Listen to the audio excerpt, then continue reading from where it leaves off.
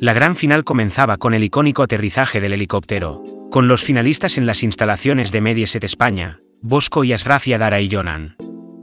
Poco después, Bosco y Asraf debían enfrentarse a unas ajustadas votaciones que, finalmente, daban como vencedor del duelo a Bosco, dejando fuera de la final a la pareja de Isa Pantoja.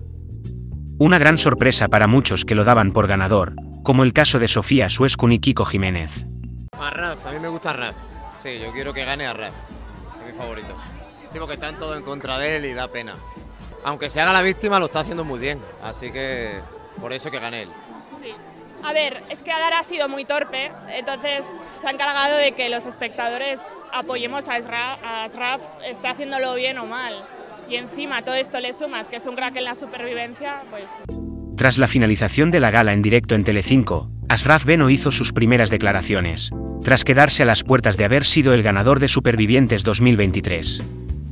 Escuchemos en el siguiente audio, las primeras declaraciones de Asraf Beno.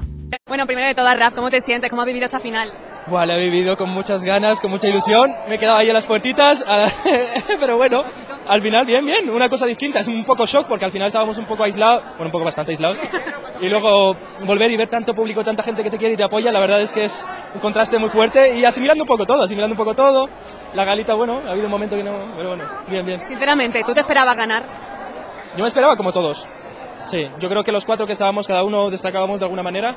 Eh, Bosco por su personalidad, Dara por, por sus seguidores, eh, Jonan también por la lucha que ha hecho.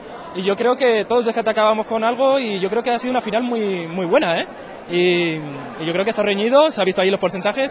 Así que bueno, yo al final, yo, yo estoy contento, estoy, estoy orgulloso de mí mismo también y de ver tanto apoyo y tanta gente que, que me quiere, la verdad es que eso me sube bastante el ánimo. ¿Crees que eh, te ha penalizado de alguna manera todas esas críticas de tus compañeros a lo largo del concurso? Bueno, no, no lo sé, tendré que salir y, y, verlo a lo mejor, pero por lo que veo aquí a primera vista, veo mucho cariño, mucho amor y eso es lo que me llena.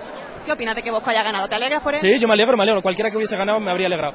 Pero Bosco, la verdad es que me alegro muchísimo. Además ha sido un rival, ya sabéis, en la Noria, en todo esto, un rival bastante duro. Como siempre, espero vuestros comentarios, dame un buen like en apoyo al canal, y además, activa la campanita para futuros vídeos, y muchas gracias por estar ahí.